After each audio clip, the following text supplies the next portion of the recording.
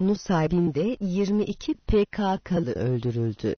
Üç gün sokağa çıkma yasağının olduğu Nusaybin'de 22 PKK'lının etkisiz hale getirildiğini, 5 vatandaşın da hayatını kaybettiği açıkladı.